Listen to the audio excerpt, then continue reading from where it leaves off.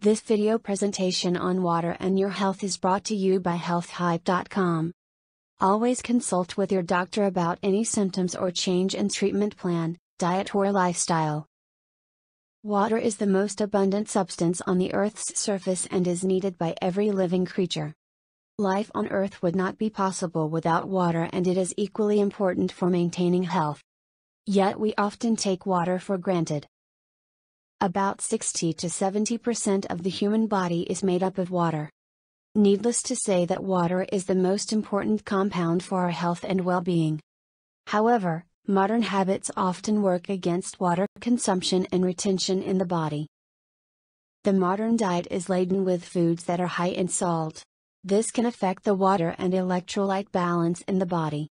Drinks containing alcohol and caffeine also have a negative effect on water in the body. These substances are diuretics and cause the body to pass out more water. However, the bigger hurdle to maintaining adequate hydration is that we often do not drink sufficient water for our body's daily needs. While there's water in beverages like sodas and coffee, the subsequent loss of water through the diuretic action of these drinks often nullifies any water gains in the body. Ultimately, these substances, along with the lack of water, leads to dehydration. Most of us do not realize that dehydration can occur if we are not exercising and not exposed to hot climates. Many people may be living in a chronic state of mild dehydration and not even know it. The first step to counter this dehydration and maximize hydration for its health benefits is to drink enough water. But just how much of water is enough for our needs? You may have heard about drinking 8 glasses of water daily but there are two other important points to consider.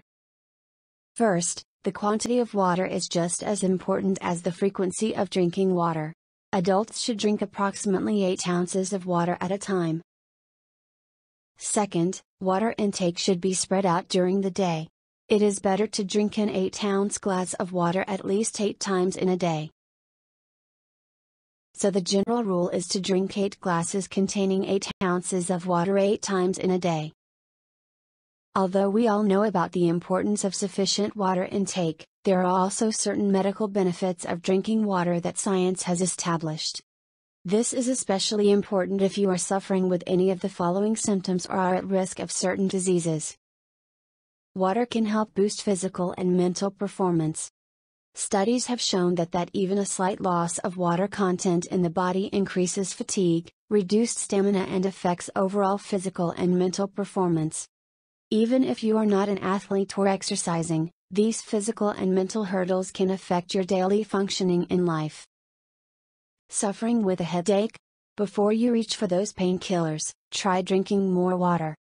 Depending on the type of headache, drinking sufficient water could reduce the intensity and duration of the pain. Even if it does not have any significant effect immediately, Consuming more water still has other benefits that could indirectly assist with future headache episodes. A good water intake can also help with both removing and even preventing kidney stones. There are various reasons why stones form in the urinary system. Water helps the kidneys to constantly flush out the substances that may clump together to form stones. It also has other benefits for the kidney function, Water can help regulate your bowel habit, especially if you are constipated. Along with fiber, drinking more water is one of the simplest ways to improve bowel habit. It helps to bulk up and soften stool. This can make passing stool much easier as well as more frequent. If you think that drinking more water will lead to water retention and weight gain, then you are wrong. In a healthy person, the body will not retain more water than it needs, and several studies have shown that drinking sufficient water can contribute to weight loss. Two studies have even demonstrated that drinking about 16 ounces of water can increase your metabolism by as much as 30% for around one and a half hours. However, drinking sufficient water also has other ways in which it can help you to lose weight. More water before meals means that you will eat less, which ultimately leads to fewer calories being consumed. Furthermore, water helps to combat fatigue as mentioned earlier. This means more energy for longer, which can help you to be more physically active. Remember that while the quantity of water you drink is important, so is the quality.